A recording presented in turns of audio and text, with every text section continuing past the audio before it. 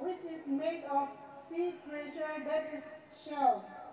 Ni means a cloth worn by a man. So tassini is used during special occasion only.